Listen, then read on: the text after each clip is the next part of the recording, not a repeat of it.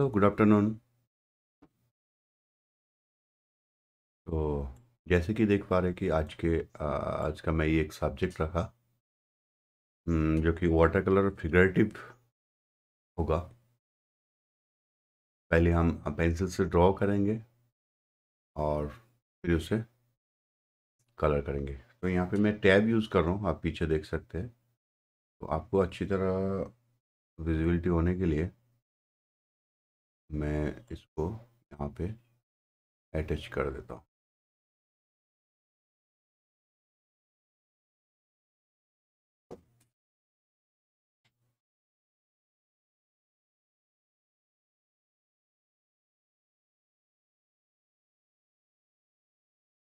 Okay okay.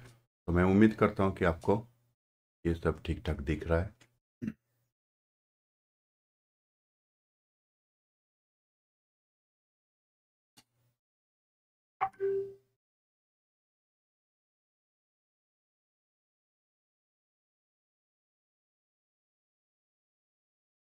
Okay जो भी सवाल होंगे आप ज़रूर पूछिएगा। तो मैं स्टार्ट करता हूँ। क्या मेरा आवाज़ आ रहा है ठीक ठाक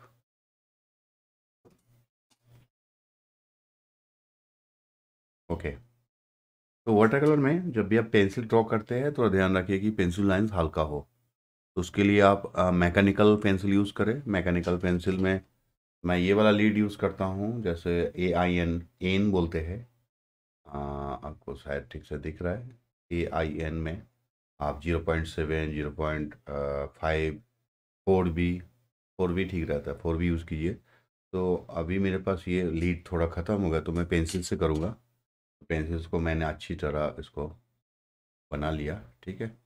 ओके तो सबसे पहले जो कंपोजिशन आपको दिख रहा है उसको हमें पेपर के अंदर अच्छी तरह प्लेस करना है है ना? और थोड़ा मैं बड़ा करने की कोशिश करता हूँ पेपर को। आई I मीन mean, इनको। इन थोड़ा सा होगा सब्जेक्ट छुटा जाता है। Okay okay okay I think okay okay तो कैसे ड्राइंग करना है ना? सबसे पहली बात है। तो आप अगर कुछ सीखना है तो आपको ड्राइंग सीखना है है ना?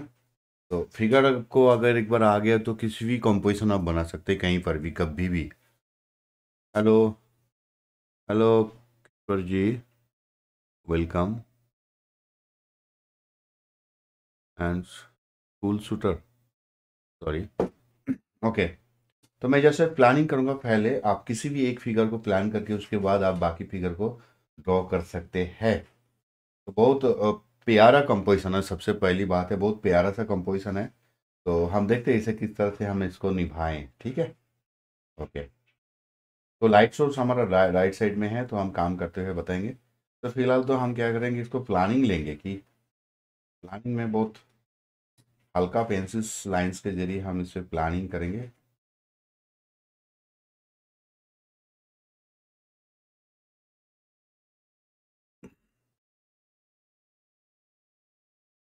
कि कौन सा फिगर कितना बड़ा रखना है फिर दूसरा कहाँ पे आएगा ये सब एक दूसरे के साथ हम कनेक्ट करना पड़ेगा है ना तो एक एक फिगर बहुत बड़ा करके बना लिया फिर दूसरा ये बहुत हल्का हल्का मैं प्लानिंग ले रहा हूँ hello Alka ma'am thank you for watching hello Pankaj ji okay okay hello Balram Bose ji thank you ভালো আছি আপনি কেমন আছেন থ্যাংক यू ओके तो ये जो है अभी मैं प्लानिंग कर रहा हूँ, ठीक है? तो प्लानिंग में क्या प्लानिंग करना है, कितना बड़ा फिगर करना है? और बहुत क्विकली मैं एक प्लानिंग ले रहा हूँ, क्योंकि प्लानिंग में बहुत हल्का सा रफली एक मैं लाइन मेंटेन कर रहा हूँ। अंडरस्टैंडिंग कर रहा हूँ कि कहाँ पे कितना बड़ा हेड आना चाहिए। और फिगर ये धीरे धीरे क्या होता है, ये हमें फिगर जो जैसे जैसे आपको लगेगी हाँ ये ठीक है, ठीक प्लेस किया है तो आप उसे उसके फाइनल लाइंस को आप ऐड करते जाएँगे। ठीक है? तो ओवर हैंड से पहले पकड़ना है पेंसिल्स को और ओवर हैंड से क्या होता है ओवरऑल आप को ध्यान रखना है। फिर अंडर हैंड से बाद में जब आप फाइनल हो जाते हैं, फिर अंडर हैंड से करना है। तो स्टार्टिंग में आपको ओवर हैंड से ही आपको करना चाहिए। एक सेकंड ज़रा मैं सेटिंग चेक करता हूँ। ओके ओके ओके तो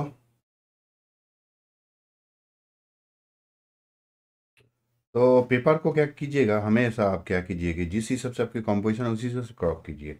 यहाँ पे जो कॉम्पोजिशन है, थोड़ा सा स्क्वायर है, मेरा पेपर है वर्टिकल है थोड़ा, लंबा है।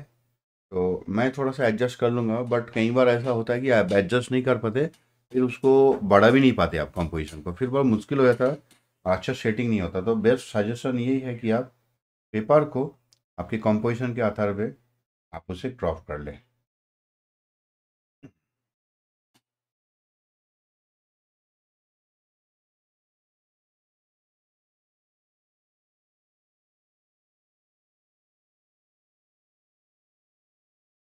ओके ओके ओके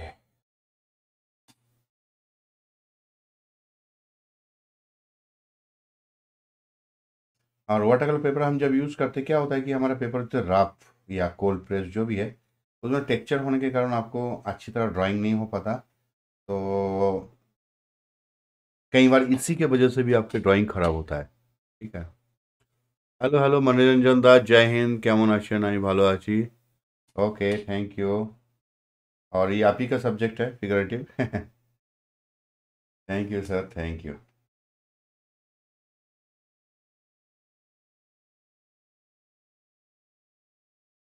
जो उछल रहा है, उसके गर्दन कहाँ पे है, उसके शोल्डर कहाँ से स्टार्ट हो रहा है, वो ज़रा सा देखना है बस।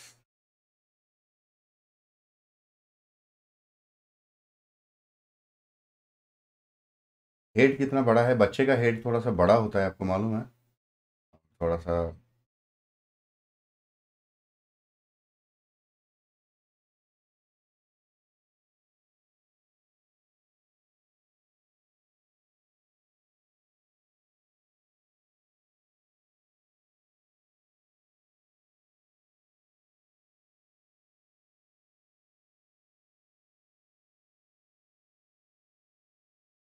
आपके लिए बस कुछ लाइंस है है ना? वो लाइंस कहाँ कहाँ से चल रहा है, वो देखना है।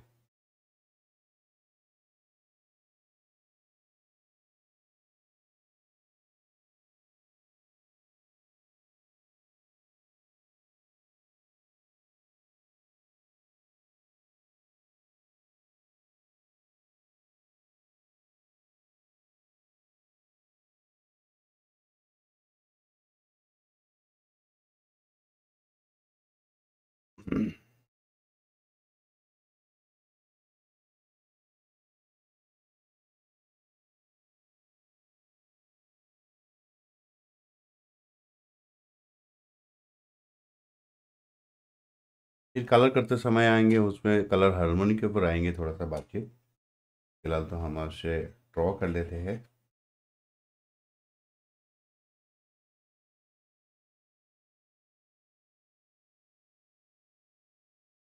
जिस तरह से मैं ड्रॉ करता हूँ, उसी तरह से ड्रॉ कर रहा हूँ। ऐसा नहीं मैं अलग से और कुछ दूसरे तरीके से ड्रॉ करता हूँ। मैं ऐसे ही ड्रॉ करता हूँ। मैं वैसे ही दिखा रहा हूँ आपको।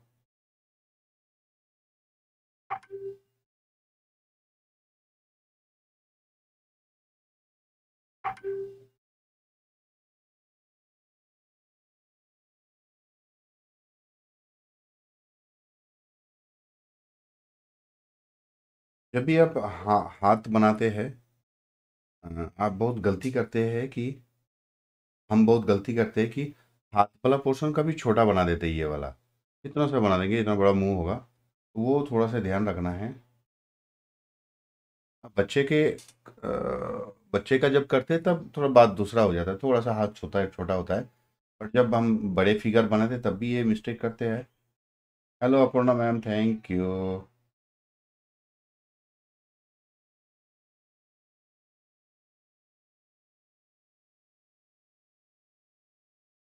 तो मुझे ऐसा लग रहा है कि जो बूंदी नहीं आ रहा है तो क्यों ना थोड़ा सा उनके लिए थोड़ा सा मैं ऐसे ऑनलाइन में आ जाऊँ और आपसे कुछ आपके साथ थोड़ा समय बिताऊं।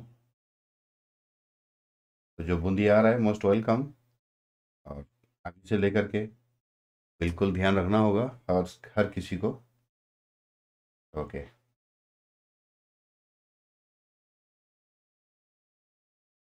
और बहुत खूबसूरत सा एक लाइट सोर्स है, जो कि राइट साइड से है। वो फिगर के, हर फिगर के राइट साइड से हमें वो नज़र आ रहा है। तो ठीक है, उसे भी हमें ध्यान रखना होगा। और मज़ा वही है। अभी से मैं बता रहा हूँ, ताकि कोई बिज़ी होंगे, निकल जाएँगे तो कुछ कुछ जितना समय आप दे पा रहे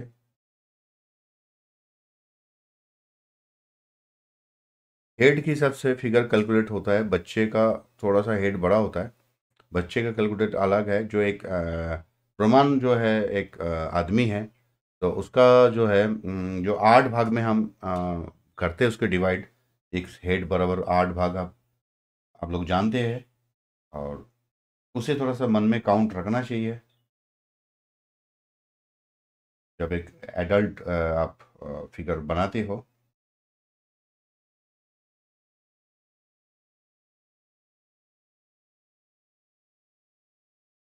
पेपर थोड़ा रफ होने के कारण आपको पेंसिल ड्रॉ करना बहुत मुश्किल सा काम हो जाता है।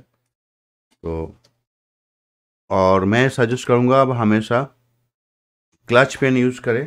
क्लच नहीं सॉरी मैकेनिकल पेंसिल बोलते हैं मैकेनिकल पेंसिल यूज़ करने से मैकेनिकल मीन्स इस तरह से जो लीड आता है उसके अंदर। तो उससे क्या होगा जो आपके लाइंस होंगे काफ़ी कम होंगे और हल्के होंगे। आपके जो कलर करते समय काफ़ी सुंदर रहेगा।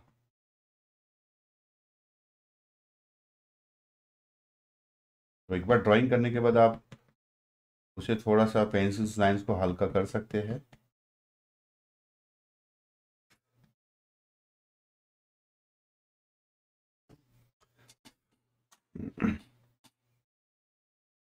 तो तीनों फिगर एकदम जिम्नास्टिक वाला फिगर है, बहुत मज़ेदार है। ठीक है तो आपको शायद ट्राई करना चाहिए, बेशक ट्राई करना चाहिए। और जो बिगनर्स लेवल में है, उन्हें तो बिल्कुल करना चाहिए, एक फिगर कैसे किया जाए। हर तीनों फिगर तीनों एंगल्स में है। और सबसे पीछे छोटू बहुत बड़े मस्त एक्शन में है। तो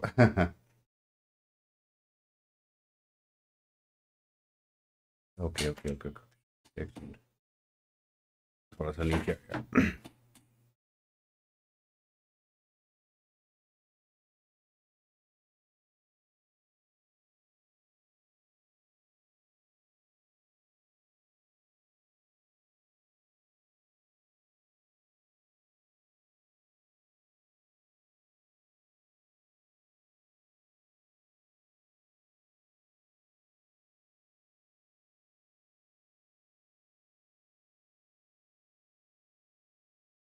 जो चीज़ आपको समझ में नहीं आता ना, वो ज़्यादा खराब होता है। अक्सर होता ही है। तो बहुत ज़्यादा हमें प्रैक्टिस की ज़रूरत है। तो जो चीज़ हमें समझ में नहीं आ रहा है उसे भी हमें क्लियर करने के लिए। कहने के मतलब कई बार हम फिगर बनाते हैं, इस फिगर पाँव के पीछे फिगर है। वो पाँव के पीछे वाला जो जहाँ पे है, वो वाला हिस्सा जैसे ये पाँव के पीछे ही फिगर यहाँ पे है तो जैसे रेफरेंस में है, ऐसे है तो कोई दिक्कत नहीं। जैसे आप थोड़ा बाहर चले जाते फिर आप बना नहीं पाते कि वो पाँव कैसा होगा। तो उसके लिए भी आपको प्रैक्टिस करते करते आपको आइडिया होता है कि उसके पाँव एग्जैक्ट कैसे होना चाहिए। ठीक है तो अलग से जब हम फिगर प्रैक्टिस करते तब हमें आइडिया रहता है। नहीं तो क्या होता है कि यहाँ से खींच खींच के इसके अंदर लेके आया लेके आया जाता है, लेकिन उसके पीछे छुपा दो, ठीक है?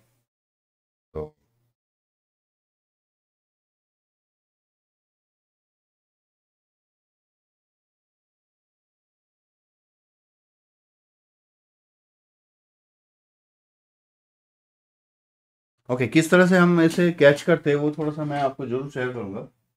ये, क्योंकि ज़रूरी है, थोड़ा सा ड्राइंग आपका ठीक नहीं होगा तो क्या होगा? ये कुछ पेंसिल्स क्लासेस का है। यहाँ पे पेंसिल ड्राइंग क्लास चलता है, हर हर मंडे को है इवनिंग सात बजे चलता है। ये किड्स का है किड्स वाटर कलर में भी ऐसा देखो, इस लेवल पे किड्स हमारे किड्स का वाटर कलर देखेंगे ना, आप पागल हो जाएँगे। ओके तो देखो डिफरेंट एंगल में आपको बहुत ज़्यादा ज़रूरी है सीखना, आपके हैंड सीखना, आपके एक एक पार्ट को सीखना है। फुल फिगर को कैसे उसे कंपोज करना है, कहाँ से कहाँ तक वो लाइन आ रहा है। एक्चुअली सब ये क्लासेस के है, ये सब फिगर कैसे पकड़ना है। ओके तो क्या होता है कि मैं एक फिगर के बारे में बताता हूँ कि कैसे देखना उसे, आपको कैसे देखना उसे। तो लास्ट वाला जो फिगर है, उसको मैं थोड़ा समझाने की कोशिश करता हूँ कि छोटा वाला जो तो आपको क्या क्या देखना है पहले कि किस किस मॉडल पे है ये? तो ऐसे कुछ मॉडल्स आपको समझना है, ठीक है?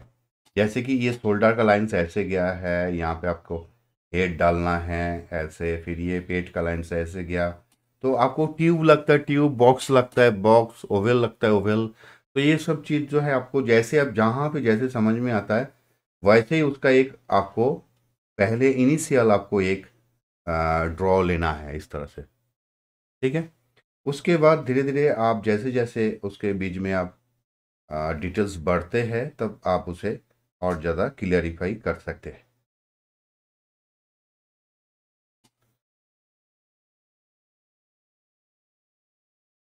तो ये जो बहुत सारे लाइन्स है, आपको हल्का रखना पड़ेगा। ठीक है? आप बहुत ज़्यादा डार्क लाइन्स करेंगे तो आपके फाइनल लाइन्स निकालना बहुत मुश्किल हो जाएगा। मैं आपको कैमरे में दिखाने के लिए थोड़ा डार्क कर रहा हूँ। तो हमने क्या किया, ये शोल्डर का लाइन किस तरह से गया, ये ओवेल कैसा ओवेल है, ठीक है, इधर कैसे लाइंस को जाम कर रहा है, ये कैसे कॉर्नर बन रहा है। देखा जाए तो एक, इस तरह से एक ये सेप आ रहा है ना? तो ये ये चीज़ को पकड़ना है। जब ये फोल्डिंग देंगे, फिर वो झुकाव का मैं, वो असर आएगा। फिर हाथ देखो, फिर ये शोल्डर के बाद आता है, फिर ये बाहर जाता है, फिर आता है ऐसे। इधर भी जाता है, इधर आता है। तो इस तरह से हमें इसे पकड़ते हैं।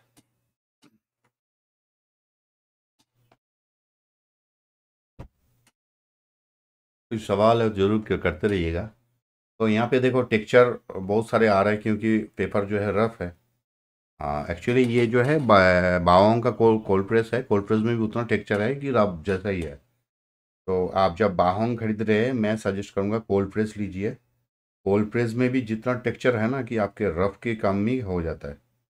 और अगर रफ़ ले लेते, बहुत ज़्यादा टेक्सचर हो जाता है फिर उसमें। बहुत सारे दिक्कत होगा थोड़ा सा आपको ज़्यादा टेक्सचर पसंद है तो वेल एंड गुड।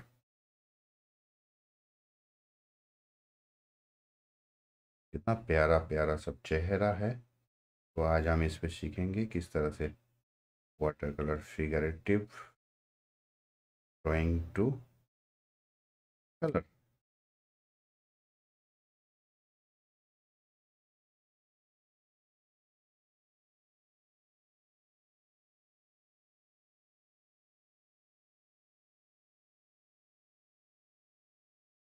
तो जब अब छोटे फिगर बनाते तब वो उसके चेहरे को मैच कराने की ज़रूरत नहीं है। जब आप बड़ा सा जब पोर्ट्रेट बनाते तब आपको ज़रूर मैच कराने के लिए कोशिश करना है।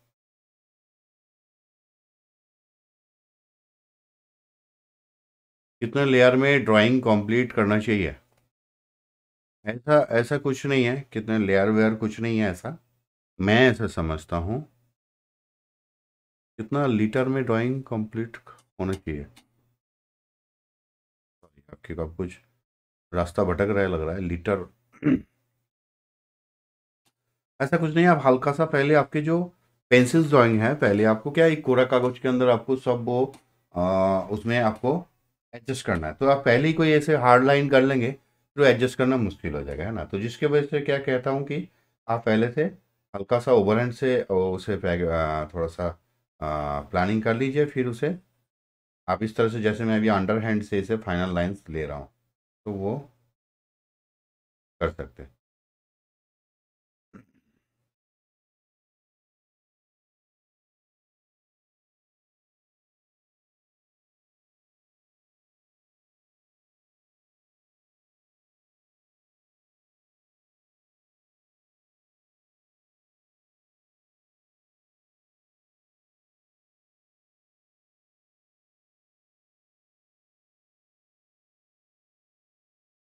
जितना अच्छा ड्राइंग होगा, उतना अच्छा पेंटिंग होगा। ड्राइंग ही ठीक ठाक नहीं होगा पेंट किस पे करेंगे?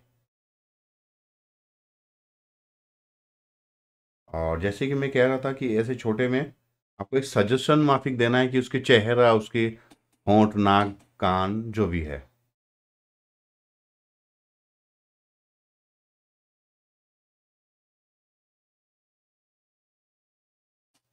बहुत ज़्यादा मतलब वो मिलाने की उसमें नहीं रहना है मिलाने की ज़रूरत नहीं है।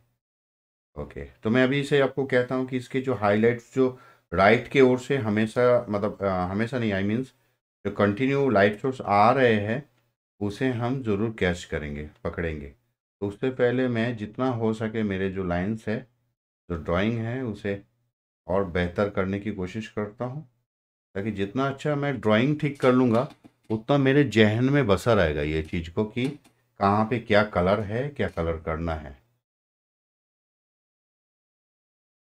तो ड्राइंग में ज़्यादा समय देना है हम जल्दी बहुत जल्दबाजी करते हैं ड्राइंग को ठीक से नहीं कर, करते हैं और कलर शुरू कर देते हैं क्योंकि कलर करने में मज़ा आता है।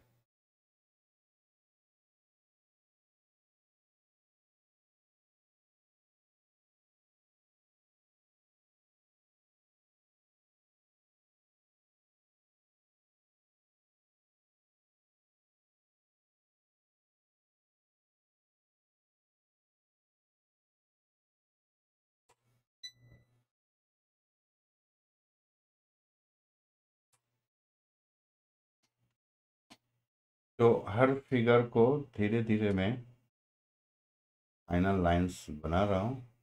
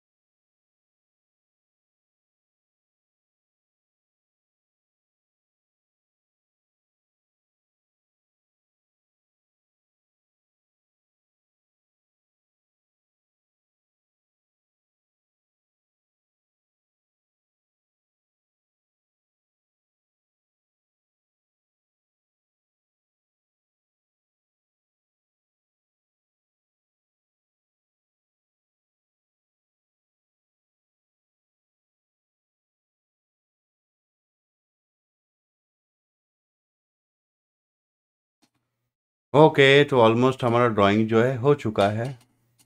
तो काफ़ी समय लगाया हमने उसे समझने के लिए और ड्राइंग को ठीक से करने के लिए। तो अभी कैसे कलर करेंगे देखते हैं, चलो, ठीक है?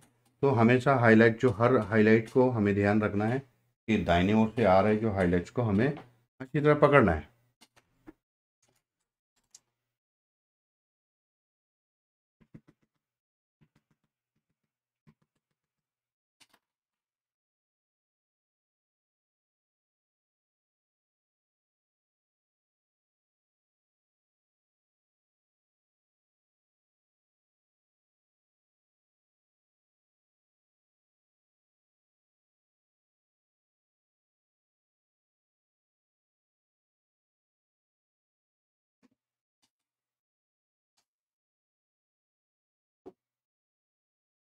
ओके जो मैं कलर यूज़ करता हूँ वो मिज़लो का है।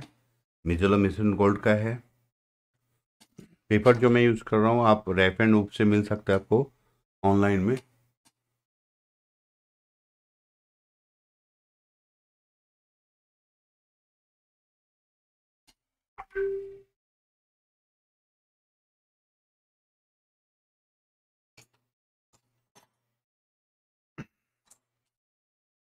तरह से, इस तरह से कुछ कैलीग्राफी ब्रश जो आपको रैप एंड में भी मिल जाएगा।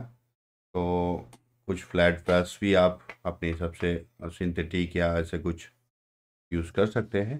तो यहाँ पे देखो, एक एक जो कलर में बांधा हुआ है, उसे मैं वो कलर को यूज़ करूँगा, ठीक है?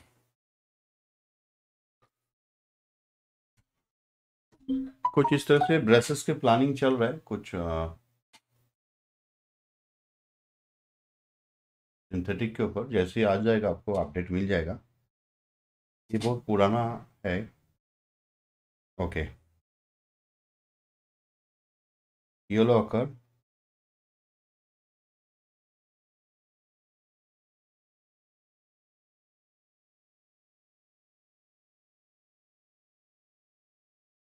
ये टारकोइस है।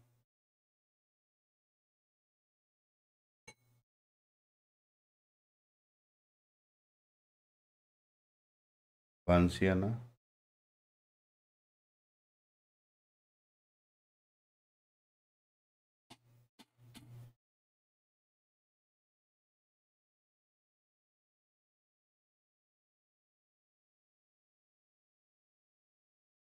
यहाँ पे बहुत सारे आर्टिस्ट क्या करते हैं कि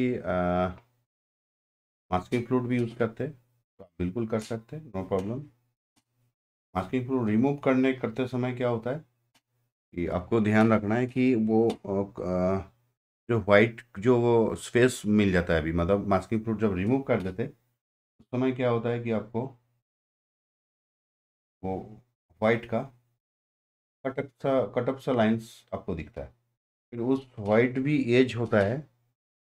जैसे हमारा कोई डार्क लाइन का एज बनता है वाइट का भी बनता है तो उसे आपको ज़रूर ठीक से मर्ज करना होगा। ओके थोड़ा सा alizarin crimson lake turquoise actually ये जो कलर है काफ़ी दल सा है और मेरा फोकस जो है अभी फिगर पे है। बैकग्राउंड जो है मेरे लिए भी एक कलर है।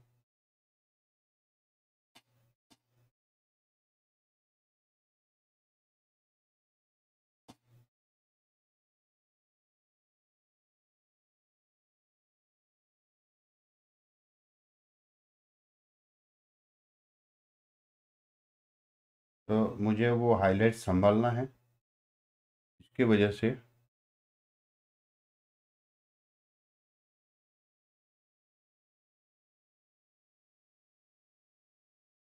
बॉडी के पास हमें अच्छी तरह संभल के काम करना होगा। ओके थोड़ा सा अल्टामेरिन और बंसियाना।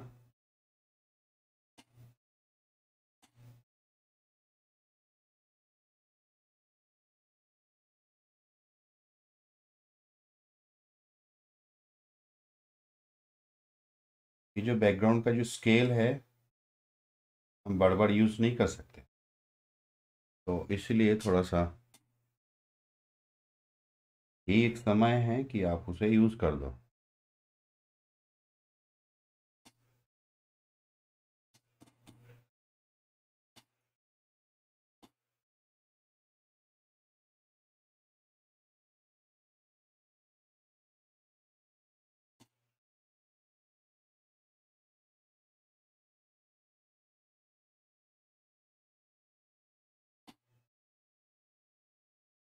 मैं जहाँ फील कर रहा हूँ कि थोड़ा सा स्केल मेरा ऑफ़ होना चाहिए, मैं कलर ऐड ऑन कर रहा हूँ कुछ कुछ एरिया में।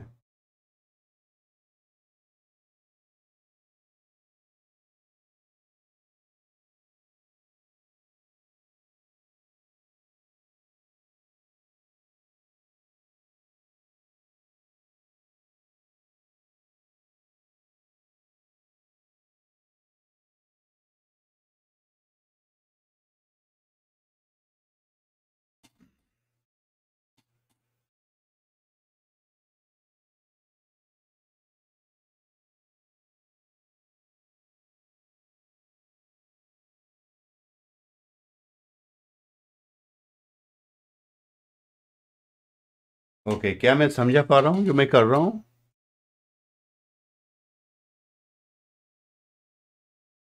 थोड़ा सा टार्कोइज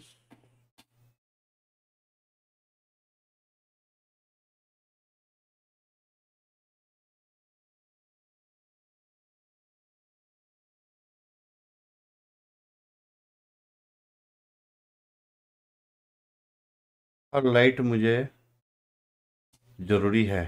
जो बॉडी पार्ट के ऊपर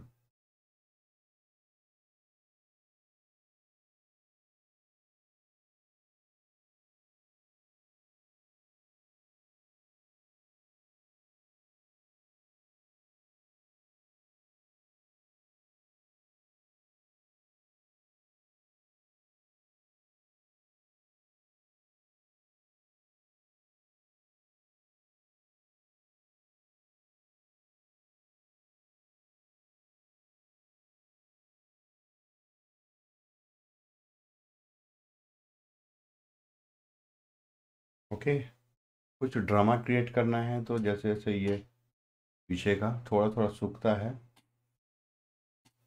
ड्रामा क्रिएट कर सकते हैं।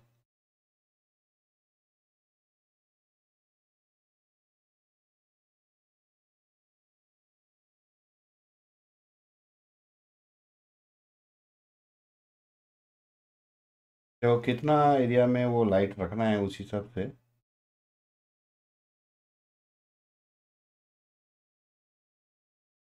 गेट के ऊपर मैंने लाइट छोड़ रहा हूँ।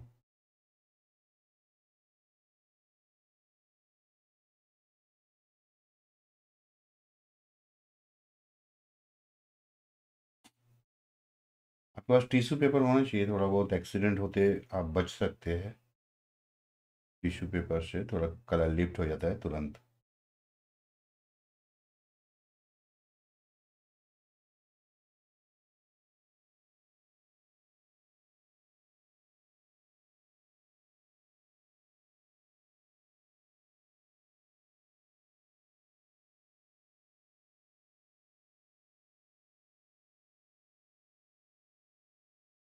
तो फ़िलहाल तो ये बैकग्राउंड कलर चल रहा है।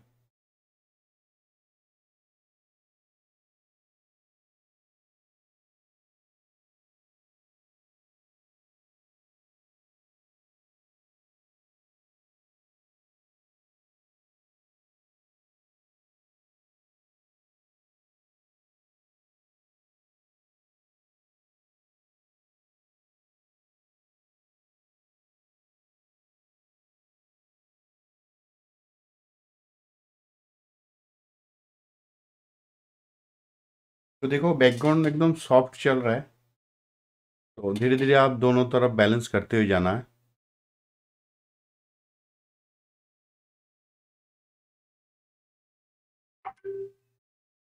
बैकग्राउंड आप पहले और ये इसमें बहुत कंफ्यूजन होता है कि पहले करना है कि बाद में करना आपको जो कंफर्टेबल लगे, आप कर सकते हैं। वैसे कुछ इशू नहीं है कि, बाद में भी हो सकता है। आप पहले अच्छी तरह सब्जेक्ट को कर लिया, फिर आप बैकग्राउंड बाद में कर सकते हैं।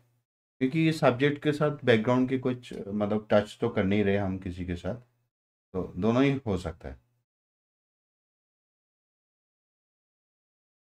तो उस समय आपको देखना है कि आपको क्या कंफर्टेबल लग रहा है, आपको क्या महसूस हो रहा है तो वो है। इसका कोई रूल मत बनाओ, ना रूल कोई है। मुझे, मैं ऐसा, मुझे ऐसा लगता है कि ऐसा कुछ रूल नहीं है कि बैकग्राउंड पहले करना चाहिए और सब्जेक्ट को पहले। मेरे, मैं ये बताऊँगा आपको कि मैं जो अनुभव करता हूँ, कि मुझे जो कंफर्टेबल जॉब लगा जिस भी समय, उस समय मैं बैकग्राउंड भी पहले करता हूँ, कई बार कई बार बाद में भी करता हूँ।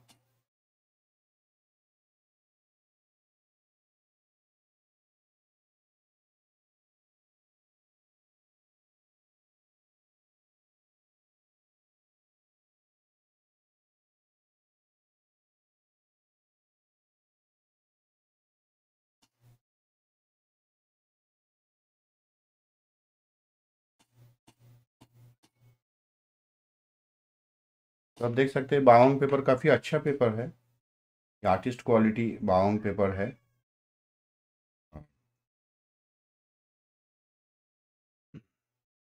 इसमें भी बहुत सारे लेयर यूज़ हो जाता है, जो हमारे वाटर कलर में ज़रूरत है। तो आप अगर बिगनर लेवल से अगर आप थोड़ा ऊपर की सोच रहे हो और अच्छा थोड़ा अपनी क्वालिटी थोड़ा सा बिल्डअप करना है तो आप थोड़ा सा पेपर में ध्यान दीजिए।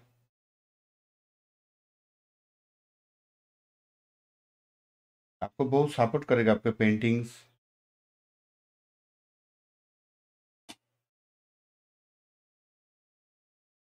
काफ़ी इम्प्रूवमेंट आता है आपके पेपर मटेरियल्स अगर ठीक हो। बट उससे पहले कुछ समय तक होता है कि आपके प्रोसेसिंग को सीखना है, किस तरह से करना है काम। और वाटर कलर एक ड्राइविंग है, आप करते करते इसके ऊपर आपको कंट्रोल आएगा। देखने से नहीं आएगा जी। आप पूरी साल देखते रहो, नहीं आएगा, जब तक नहीं करेंगे। आप भले एक छोटा सा एप्पल भी बनाओ, तभी आपको आएगा, ठीक है? एक पत्ता भी बनाओ, तब भी चलेगा, बट आपको करना पड़ेगा।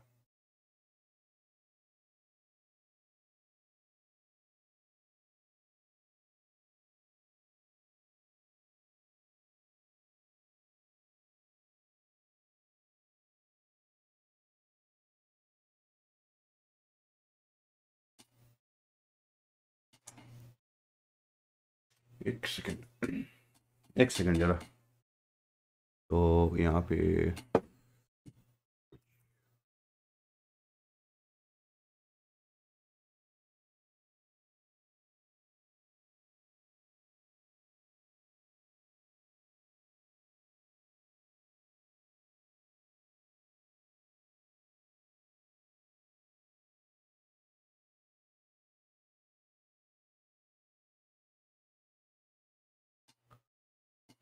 ओके तो इस समय अच्छी तरह इसे ड्राई करना होगा।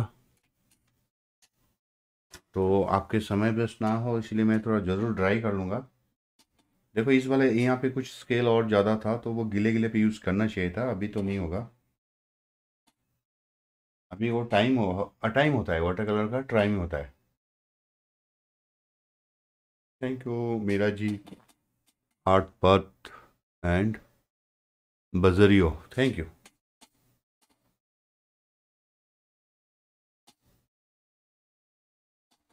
एक सेकंड में ज़रा इसे। ट्राई कर लेता हूँ।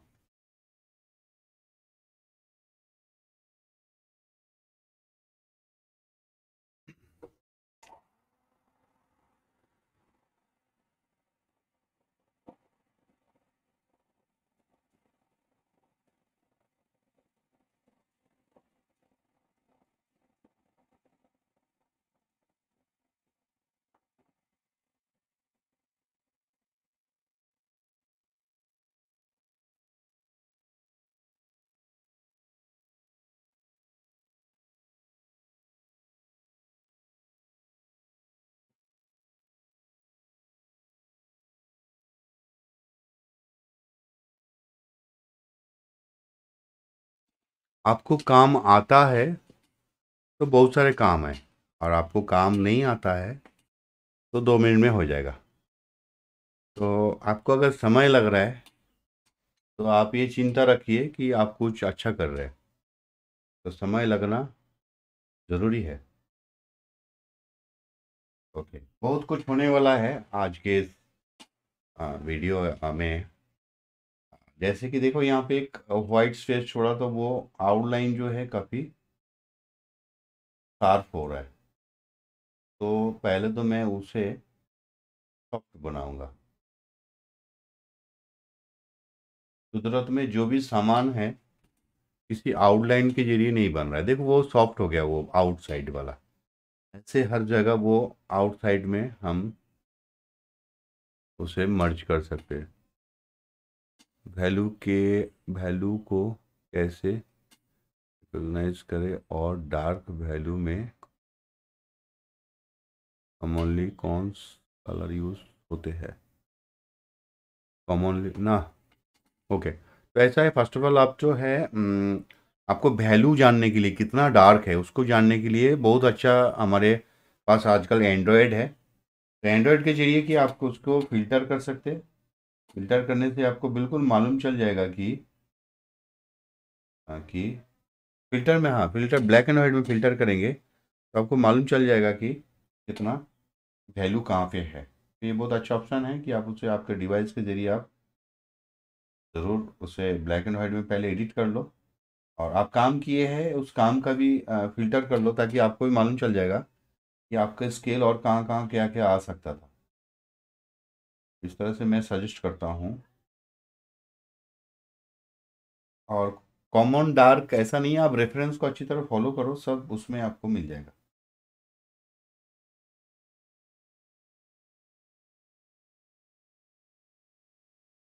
कॉमन डार्क नहीं होता है ब्लू का डार्क होता है रेड का डार्क होता है तो वो किस कलर के ऊपर डार्क है? ग्रीन का डार्क हो सकता है तो वो किस कलर के ऊपर डार्क स्टोन है, वो उसको पकड़ना है।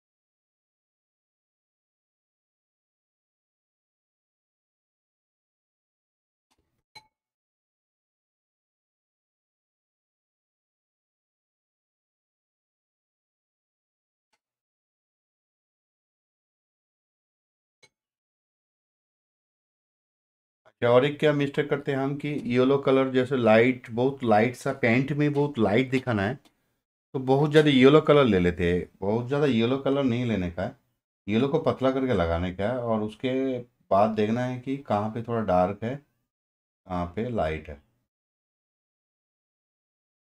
मतलब बहुत ज़्यादा येलो लगाने से आपको नहीं लाइट आएगा, हल्का करके लगाने से ही लाइट आएगा, और उसके साथ आपको देखना है कि उसके आसपास में जो क्या डार्क कलर है। तो मैं बहुत लाइट करके एक लेमन कलर को जो लगाया मैंने।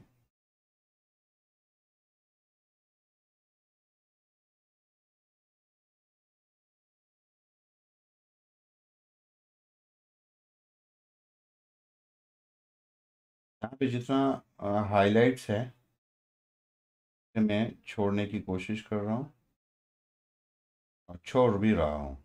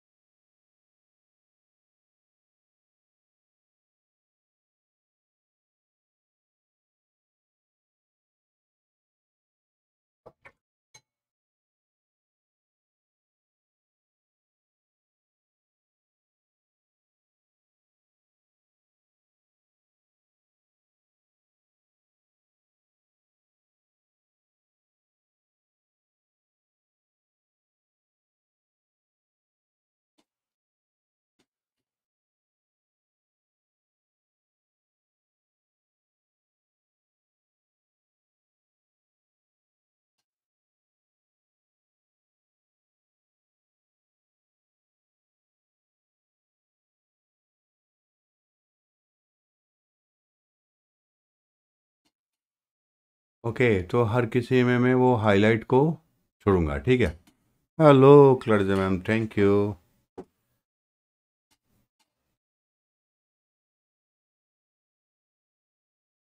okay okay. Actually यहाँ पे वो बैकग्राउंड का कुछ लाइट मतलब बैकग्राउंड को फील नहीं करा है, जिसके वजह से यहाँ पे कुछ डिस्टर्ब दिख रहा है। तो देखेंगे बाद में उसे।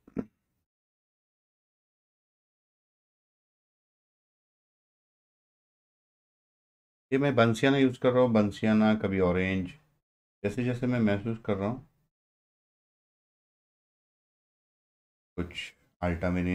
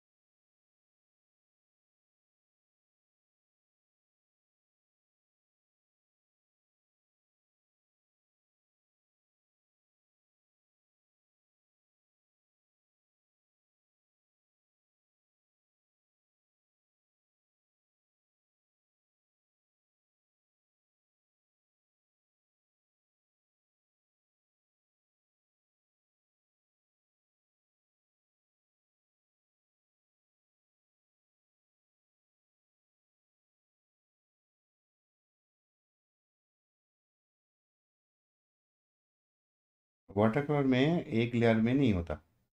कि दो तीन कम से कम लेयर तो होना चाहिए। तो कई बार हम ये करते हैं कि एक बार में वो डार्क यूज़ करते हैं, ऐसा नहीं है।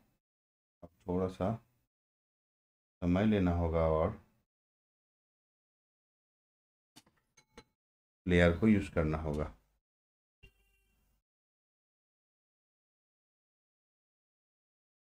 एक भेंड्रेक ब्राउन है। उसके पैंट की कलर है बिल्कुल मैच कर रहा है।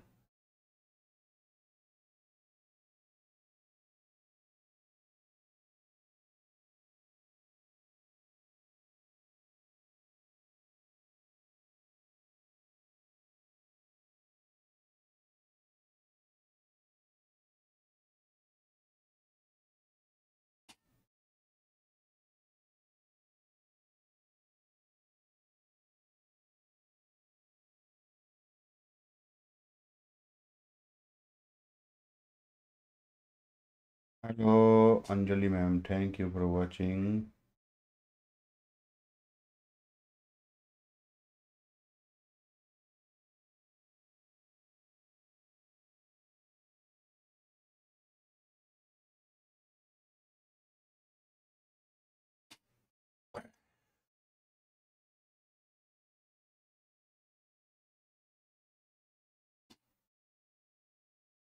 बहुत ज़्यादा ध्यान रखना तो बहुत ज़्यादा किस पे?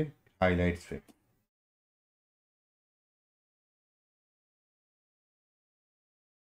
कंटिन्यू जो हाईलाइट्स है वो बॉडी के राइट साइड से दिख रहा है हमें।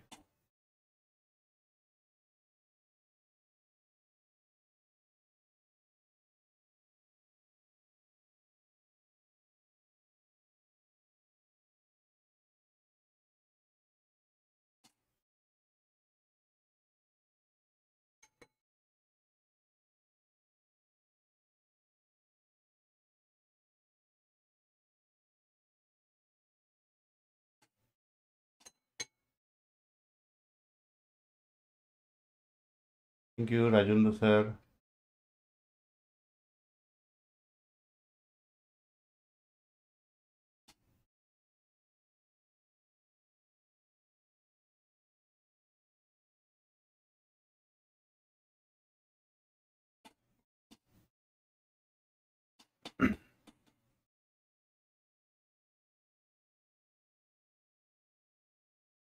water colour मतलब ये जो मैं छोटे एरिया में भी काम कर रहा हूँ तो वो क्या कई बार इस तरह से उसी गीले गीले पे कलर को छोड़ रहा हूँ। तो ये थोड़ा सा सॉफ्ट होता है अच्छा होता है।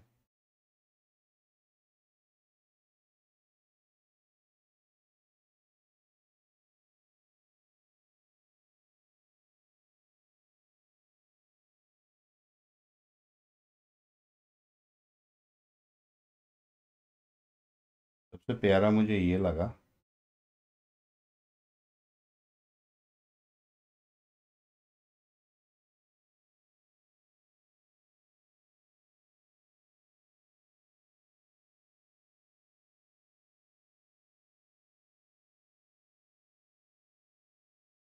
खाने में जैसे टेस्ट बदलता है ना।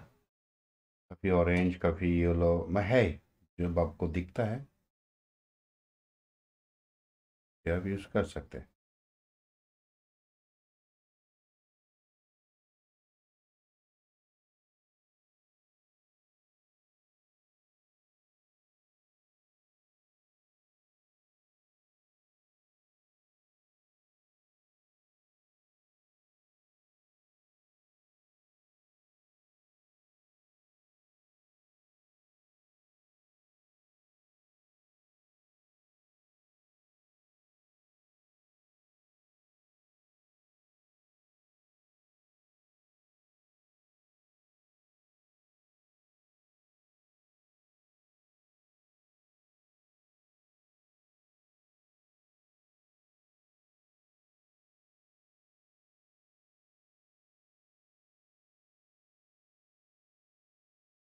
ये सब कलर होने के बाद एक बार क्या करेंगे कि वो ड्राई होने के बाद जो राइट साइड में जितने भी मैंने छोड़ा है हाईलाइट उसके अंदर बहुत सारे पेंसिल्स लाइंस है। उसे साफ़ कर लेंगे। उससे और ज़्यादा हाईलाइट जो है हमें और ज़्यादा दिखने लग जाएगा, ठीक है?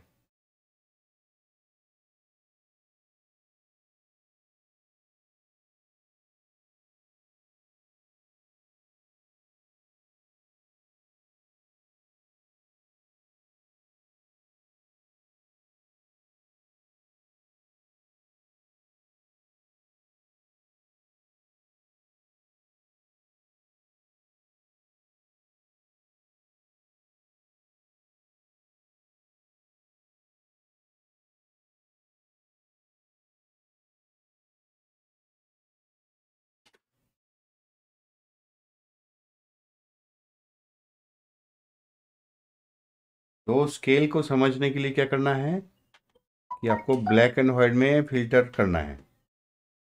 और आपके पेंटिंग करने के बाद आपके पेंटिंग को भी कीजिए और रेफरेंस को भी कीजिए। फिर आपको लग जाएगा मालूम कि और कितना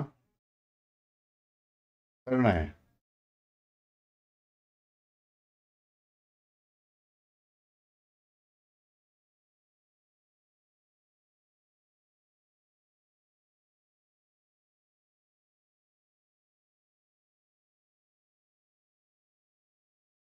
थोड़ा रेड ब्राउन अल्टामेरिन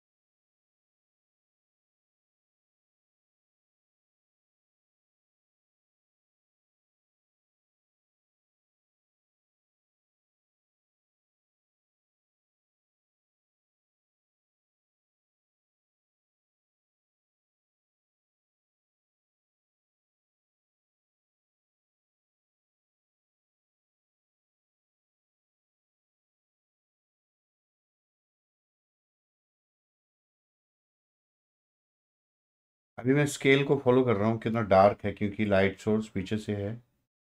और यहाँ पे अगर हम डार्क नहीं करेंगे वो फिगर के फिगर में डायमेंशन क्रिएट नहीं होगा ठीक ठाक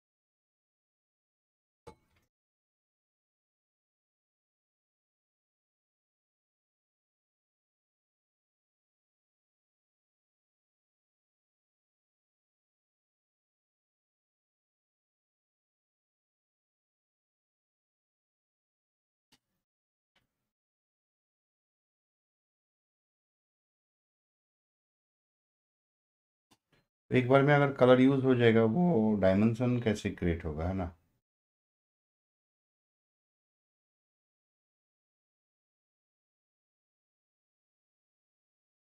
टिश्यू हाथ में होना चाहिए एक्सीडेंटली आपको बाहर जाता है तो आप उसे रोक लगा सकते हैं।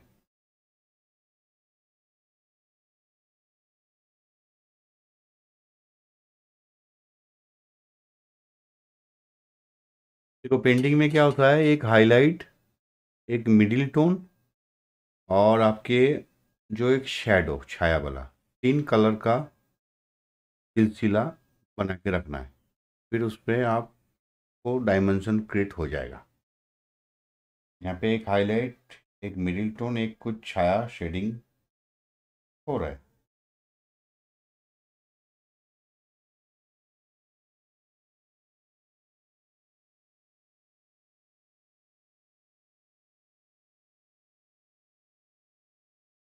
जिनको इसी तरह से कंटिन्यू करना है। आप ऑनलाइन क्लासेस ज्वाइन कर सकते हैं। आप कुछ ज़्यादा जल्दी सीखना है तो। क्लासेस के अंदर आपको पहले से कंपोजिशन शेयर किया जाता है। जहाँ पे आ, आप खुद से ट्राई करके सबमिट करते हैं। और फिर आपने जो काम किया हाँ उस कंपोजिशन को फिर मैं दिखाता हूँ क्लास के दिन। फिर उसे आपने जो बनाया उसके रिव्यू करता हूँ। आपके रिव्यू करने से क्या होगा कि आपकी गलती आपको मालूम चलेगा। और इसी तरह से ऑनलाइन क्लासेस दो साल से चल रहे हैं और कंटिन्यू भी दो साल से कर रहे हैं कुछ स्टूडेंट्स कुछ दो साल, कुछ एक साल, कुछ छः महीने ऐसे मतलब कंटिन्यू अच्छा इम्प्रूव कर रहे हैं जो कि आप लोग फेसबुक में आपको देखने को मिलेगा कई बार। मैं कोशिश करता हूँ, जितना मुझे मालूम चलता है, उतना मैं शेयर करता हूँ।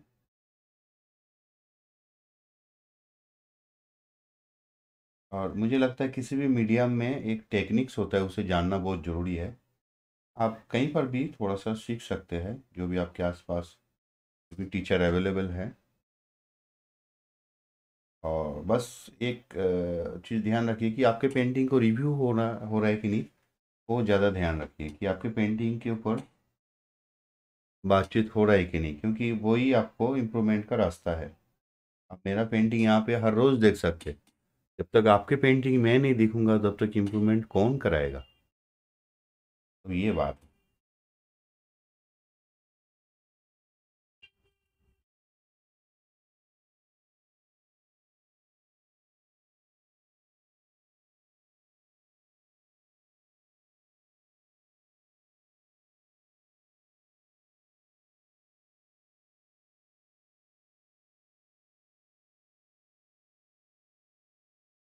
बहुत बोल्ड बोल्ड स्ट्रोक्स यूज़ कर रहा हूँ, जैसे उसमें एक शेप के जो आकार है, वो मैं दिखाने की कोशिश कर रहा हूँ।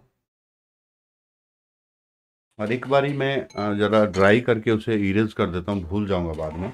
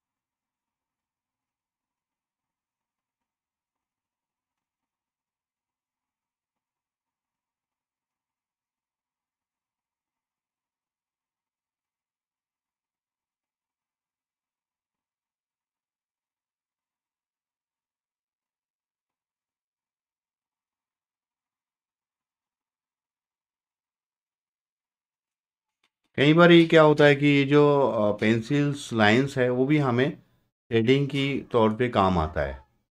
तो कई बार वो भी देखना है कि मिटाने से ज़्यादा ख़राब हो रहा है तो मत मिटाओ। मैं जो ब्रश यूज़ कर रहा हूँ, एक तो ये ब्रश है जो कैलीग्राफी ब्रश है रैप रैपेनूप के पास आएगा।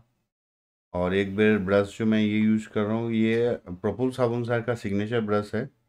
जो कि प्रफुल साबुन सर के वेबसाइट पे आप विज़िट करेंगे प्रफुल साबुन डॉट कॉम में मिल जाएगा जहाँ तक। तो वहाँ पे आपको मिल जाएगा ये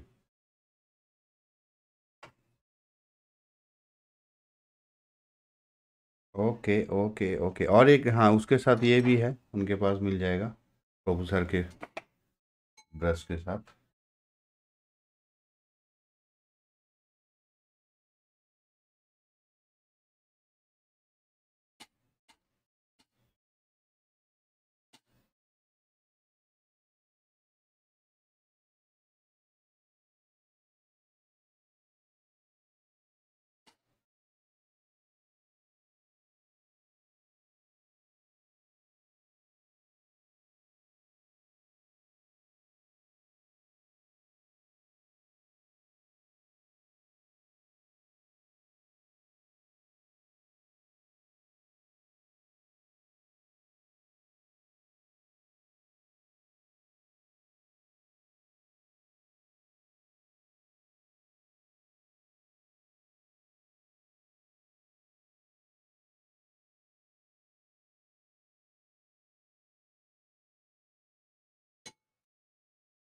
ये सब जो कलर यूज़ कर रहा हूँ, सब मर्ज हो रहा है, ताकि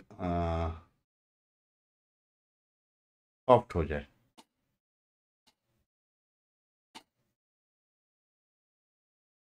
मैं वाइट के लिए मैंने स्टार्टिंग से पेपर वाइट ही छोड़ा है। अभी बस मैं पेंसिल लाइंस को साफ़ किया।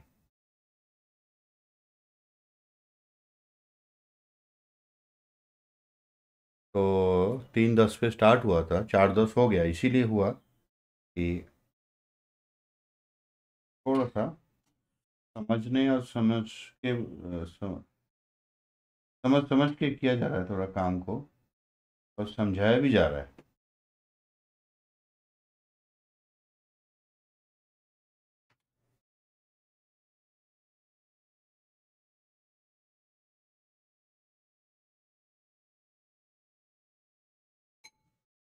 कुछ शलवटे देना है,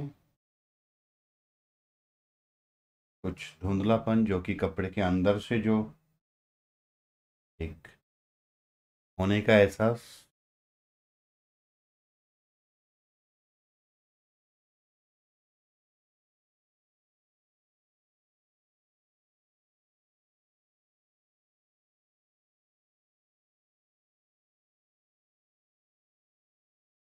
मुझे बिल्कुल मालूम है कि एक लेयर में होगा नहीं तो बार बार लेयर आएगा। तो इसी तरह से आपको भी मालूम होना चाहिए कि एक लेयर में नहीं होगा तो धीरे धीरे आपको लेयर को बढ़ाना है। तो फिर आपको वैल्यू भी यहाँ पे आराम से समझ में आ जाएगा।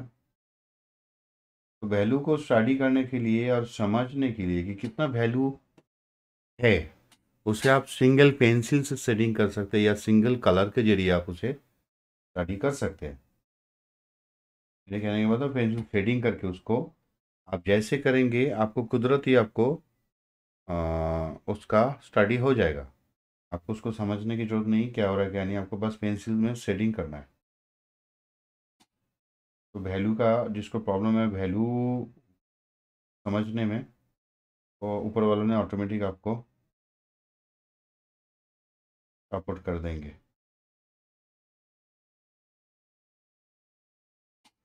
Mm-hmm.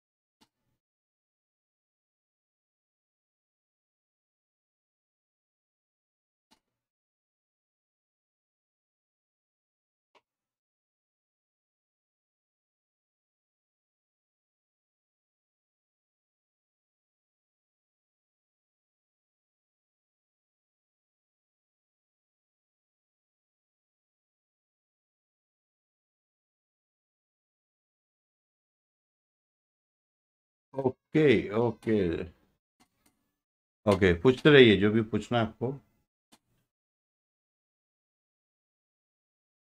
कभी आपने ध्यान दिया कि जहाँ लाइट टकरा रहा है, ठीक उसी के बाद एक डार्क हाँ डार्क बनता है। मतलब एकदम से लाइट से मर्ज नहीं होता ऐसे कई बार जैसे ये मर्ज हो रहा है, कई बार वो लाइट के बाद एक डार्क सा बनता है।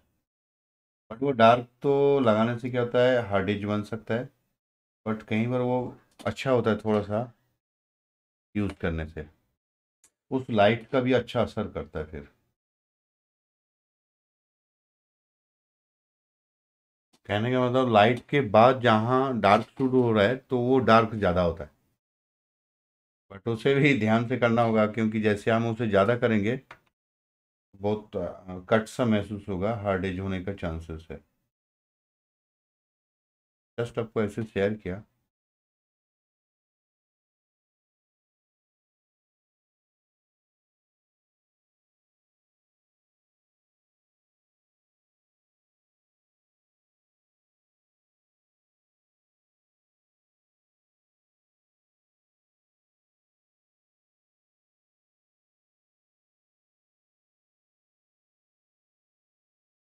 अच्छा मैं सजेस्ट करूँगा, जिनके पास एंड्रॉयड टीवी है तो वो एंड्रॉयड टीवी में ज़रूर देखें। उसमें आपको बहुत अच्छा क्लियर दिखता है और जब बड़ा करके दिखेगा, तब अच्छा है।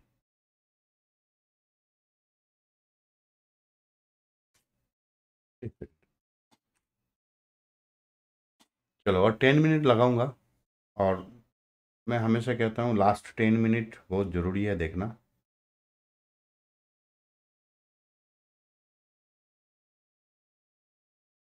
और बहुत सारे आर्टिस्ट जो जुड़े हुए हैं उनको बहुत बहुत धन्यवाद।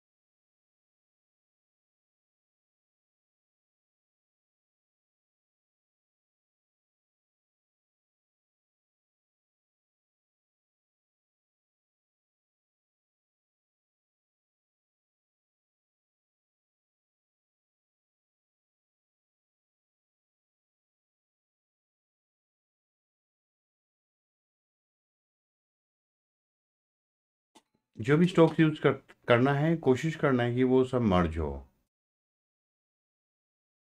हाँ गुड, जॉली जी। हाँ हाँ।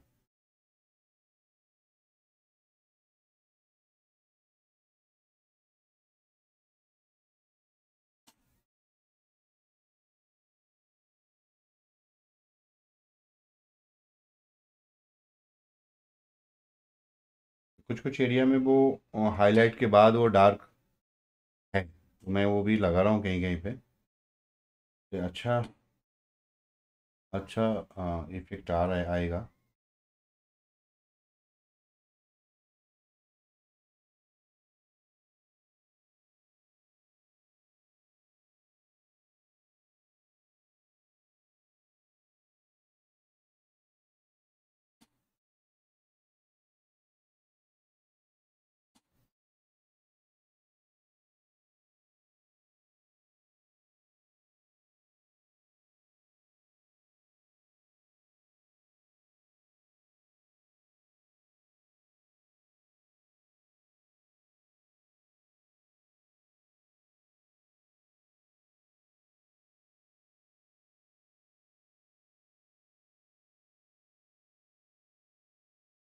इतना ज़रूरत नहीं है, फिर भी थोड़ा सा कोशिश कर रहे हैं।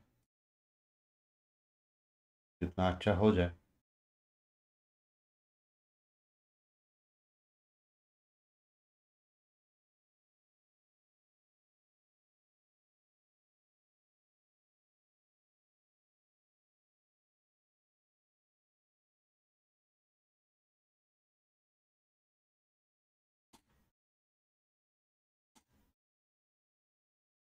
पेपर अच्छा नहीं होगा ना, अब फिर ये जैसे लेयरिंग है, जैसे हमें क्या दो तीन लेयर में ये निकल के आ गया।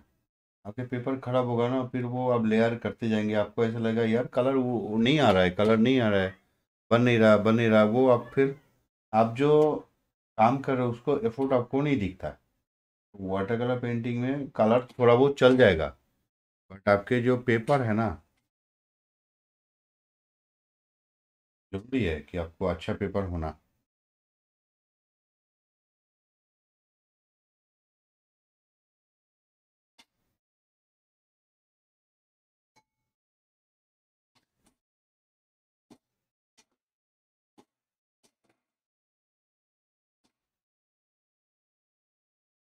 Okay okay. तो यहीं पे हम थोड़ा क्लोज करते हैं अभी काम को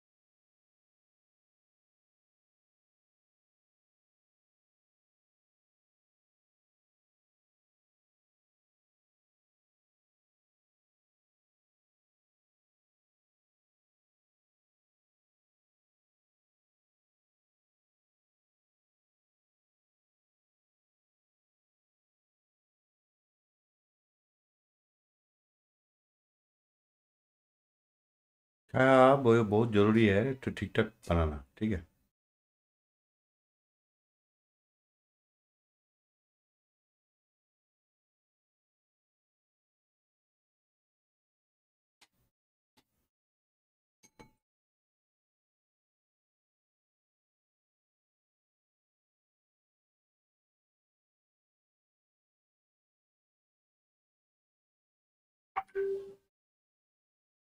जी।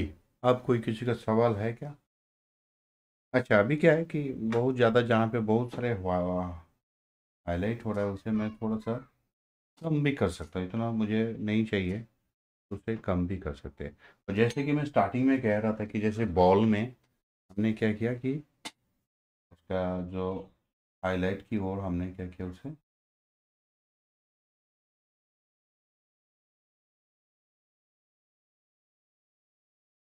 बैकग्राउंड के साथ मर्ज किया। उसी तरह यहाँ पे जो भी फिगर के पास जो एरिया है। Thank you Naushad ji. कैसे हैं आप?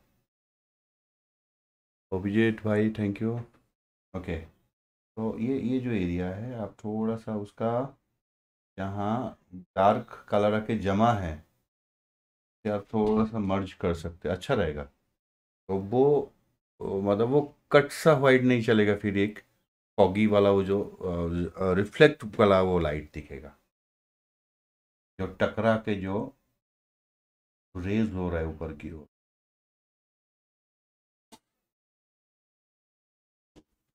तो ये एंड में ये सब आप कर सकते थोड़ा सा। तो ये क्या है, आपको रिज़ल्ट क्या दिखता है? बहुत ज़्यादा नहीं दिखेगा। असर बहुत होता है उसका। जो मैं करूँगा, आप करते समय ऐसा लगेगा, यार, ये क्या है? कुछ नहीं हो रहा है। बट इसका असर होता है। आपको दिख रहा है अभी वो उसका असर। वो धुंधलापन।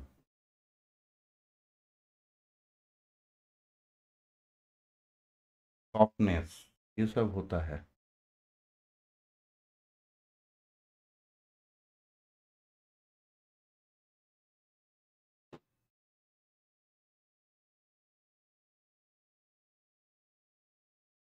जो आउटलाइन है वाइट उसके बाद जो बैकग्राउंड का डार्क आके उसमें जमा है, जम गया ना, वो वाला एरिया में जॉइंट के ऊपर से आपको गीले ब्रश को लेके घुमाना है।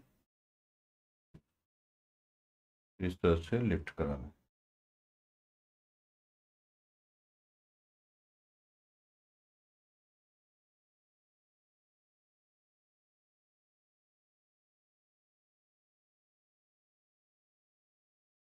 और यही चीज़ क्या होता है, जब आप मास्किंग फ्लूड यूज़ करते हैं, तब भी ऐसे ही कट मिलता है, ठीक है? उसे भी आपको मर्ज करना है, ध्यान रखिएगा।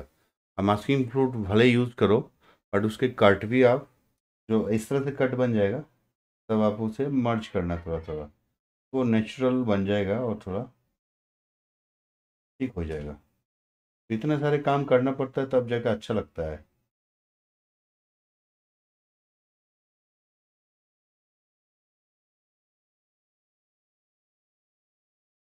अगर आपको अच्छा लगता है तो थोड़ा एक आधा लाइक दे दीजिएगा, ताकि और भी जिनको ये इसकी ज़रूरत है उन तक पहुँच जाए।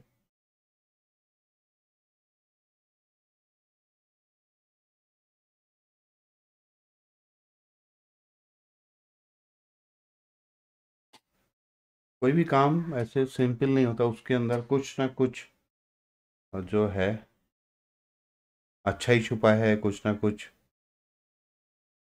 चीज़ें हैं जिसे आप बनाने से वो अच्छा होता है। वो नोट करना है। क्या होता है, जब भी आप कंपोजिशन को ओपन करते हैं या जब भी आप बनाते हैं, आप सवाल करना है कि ये अच्छा लगने का कारण क्या है? जब आप सवाल करेंगे, तब आपको तो जवाब मिलेगा कि ये लाइट था, ये शेडो था, यहाँ पे ये कलर था जिसके कारण वो सुंदर लग रहा है। तो वो सब आपको फिर मिलेगा।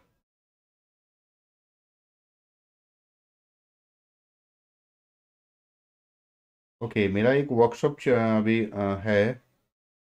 तो हो गया। एक दो मैं और आर्टिस्ट को ले सकता हूँ। Culture one day culture water colour sculpture painting का एक वर्कशॉप ले रहा हूँ मैं। ये पंद्रह तारीख को ले रहा हूँ। तो का जो फ़ीस है सेवन हंड्रेड है। आप कोई भी ज्वाइन कर सकते हैं। पेंसिल से लेकर के कंप्लीट आपको दिखाया जाएगा। और उसके बाद रिव्यू किया जाएगा।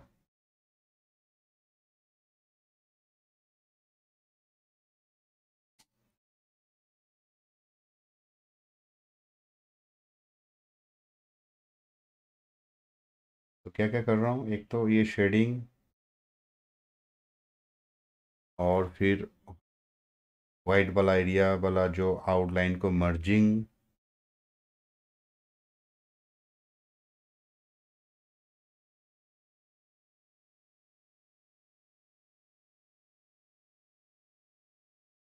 हो ज़्यादा नहीं, थोड़ा थोड़ा थोड़ा थोड़ा थोड़ा थोड़ा टच कर दो तो बात बन जाएगा।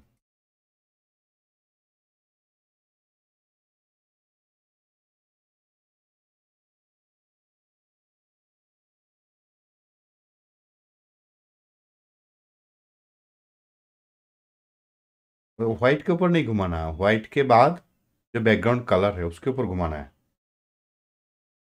तो उसमें देखो एक रन रनिंग हो रहा है ना कि मूवमेंट एक रन हो रहा है, उसका भी महसूस हो रहा है।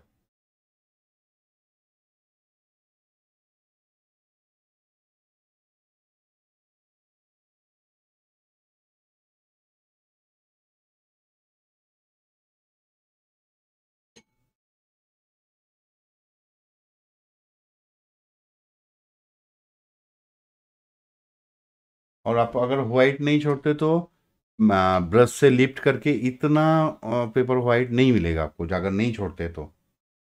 Hello Pallav ji hello thank you for watching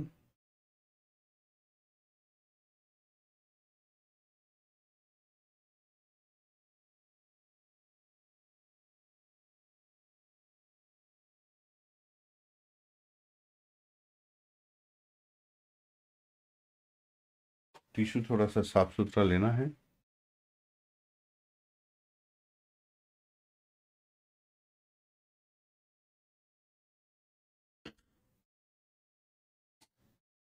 देखो, यहाँ पे एक सार्फ वो लाइन चल रहा है ना, उसे मर्ज करना है।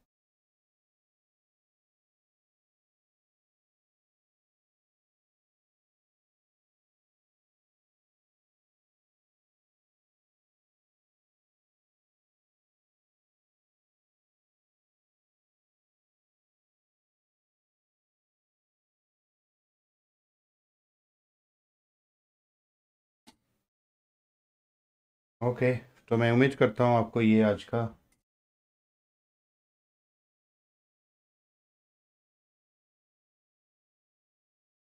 जो सेशन है आपको अच्छा लगा।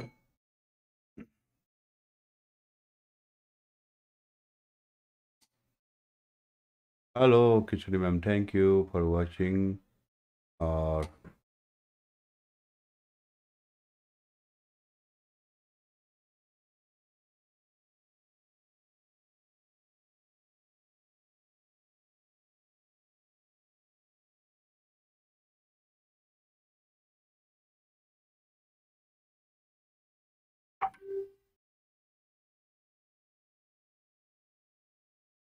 ये मैं जो बार बार कर रहा हूँ मैं देख रहा हूँ कि उतना डार्क देना पड़ेगा और ये एक बार में नहीं देना है लेयर में तभी सॉफ्ट रहेगा।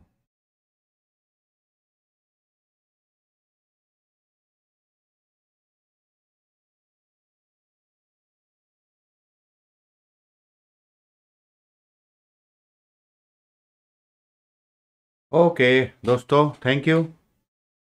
इतने देर से आप लोग जुड़े रहने के लिए बहुत बहुत धन्यवाद। और किसी का कुछ आ, जो भी कुछ आपकी बातचीत है आप मुझे शेयर कर सकते हैं पर्सनली व्हाट्सएप में या यहाँ पे इनबॉक्स में जो बाद में देखेंगे। वो भी कुछ पूछ सकते हैं। आज के लिए इतना ही है। फिर मिलेंगे नेक्स्ट कंपोजिशन के साथ। अच्छा लगे तो ज़रूर लाइक कीजिएगा ताकि और अच्छा वीडियो में लेके आऊँ। ओके थैंक यू सभी को थैंक यू थोड़ा सा जूम करके मैं दिखाता हूँ।